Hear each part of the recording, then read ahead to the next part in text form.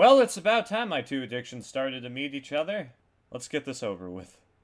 According to my calculations, your ass is grass! So basically, Jack, I'm monkey. I'm fucking monkey! Wait, that came out wrong. Apes are cruel, Genji, and I'm very in touch with my inner scientist!